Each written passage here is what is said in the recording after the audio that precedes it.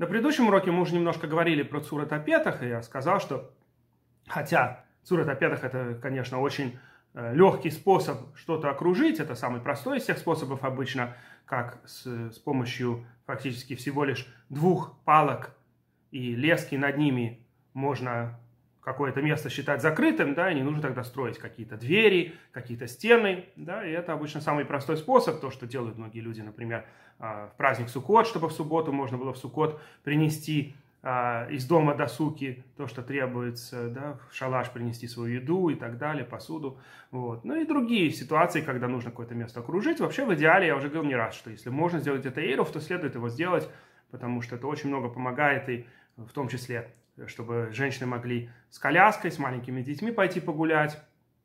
Как говорил Раби Вайсмандал, нужно иметь милосердие для еврейской женщины, да, что она сидит в субботу в своей квартире и не может выйти на улицу, когда у нее грудные дети.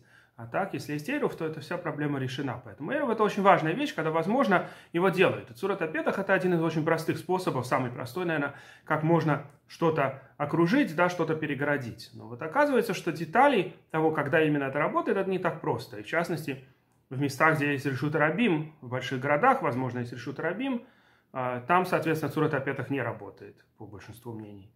И э, с другой стороны, я уже говорил, что есть мнение, что какие-то большие города, может даже в наше время все большие города по Хазунышу не считаются решут рабим из-за технических причин, о том, э, связанных с тем, как строятся сегодня дороги и дома вдоль них. Так вот, сегодня я хотел обсудить еще одну деталь Цурат Апетах, которая обсуждается здесь. Во-первых, я уже говорил, что Цурат Апетах это действительно должно быть похоже на вход. Да, это не, не просто шутка, да, это должно быть достаточно близко к настоящему входу, настоящей рамы, да, настоящая рама, э, настоящие косяки. И что для этого требуется? Во-первых, косяки должны быть достаточно крепкими. То есть невозможно э, повесить какие-нибудь веревки, например, вертикально и сказать, что это мой дверной косяк. Наверху, да, может идти просто веревка или леска.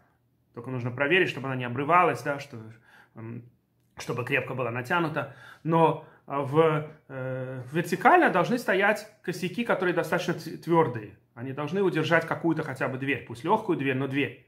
То есть теоретически этот вход, да, эта рама может удержать хоть какую-то дверь. Иначе это вообще не дверной косяк, иначе это не сурат апетах, то, что мы учим здесь в Талмуде. Еще интересное здесь есть утверждение в Талмуде, и вы сейчас увидите, что мы этому не следуем. А почему, я попытаюсь объяснить. Значит, сказано здесь, что а, мнение Решлакиша, что нужно чтобы у дверного косяка еще был так называемый хекер-цир. Это как бы вид для петлей что-то сделано, чтобы можно было уже вешать, видимо, почти что дверь. Это похоже, что не сами петли мамаш, но что-то, что с помощью этого да, остается место, на которое уже можно вешать с помощью петлей дверь. То есть, чтобы выглядел вход почти что как настоящий вход, даже если еще двери нету, но хотя бы должны быть а, почти, да, почти готово все, чтобы повесить эту дверь. Так вот, на практике так не делают. И стоит вопрос, а почему в действительности? На самом деле у нас есть в Иерусалимском Талмуде, в э, нашем же трактате, э, спор между Решлакишем и Раби Йохананом. И Раби Йоханан там не требует этот хекер-цир, только Решлакиш это требует. И обычно у нас Аллаха, как Раби Йоханан, когда он спорит с Решлакишем. Раби Йоханан был своего рода учителем Решлакиша.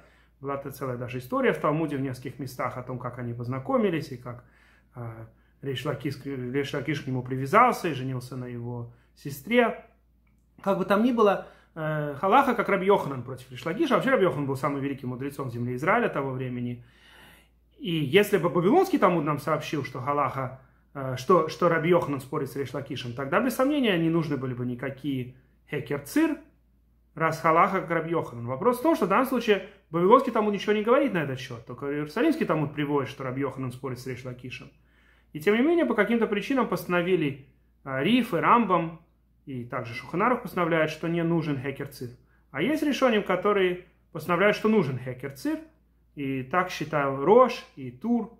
И а, на практике, как я уже сказал, у нас не делают так. И может быть на это есть еще одна причина. Есть общий принцип вообще Талмуде, что в отношении Эйрова обычно мы более мягкие, если есть какой-то диспут. И хотя это в основном относится к Эйрову, связанному именно с хлебом, с вопросом да, перемешивания владений, но не исключено, что и в отношении многих диспутов, которые мы сейчас обсуждаем, да, особенно если только Дарабонан вопросы, то, может быть, тоже можно быть мягким. Поэтому вот э, в случае Эйрова, видимо, наши мудрецы хотели, чтобы людям легко было сделать Эйров, хотели, чтобы была возможность носить.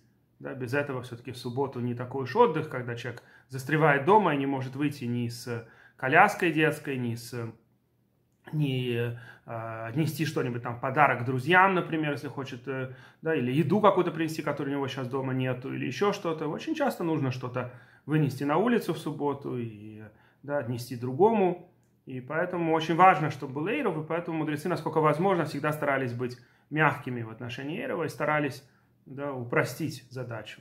Поэтому, может быть, тоже здесь постановили Галаху, что фактически Цуратапетах для нас это просто э, две вертикальные палки и над ними леска. Леску, в принципе, можно сделать, да, чтобы она не касалась этих палок, либо она шла ровно над ними, не сбоку.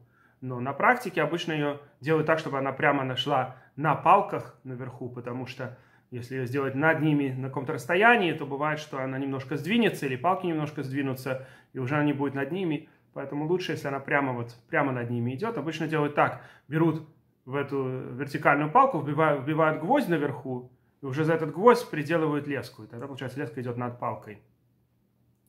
А, и на этом мы закончим наш урок. Если вам нравится это видео, пожалуйста, жмите лайк.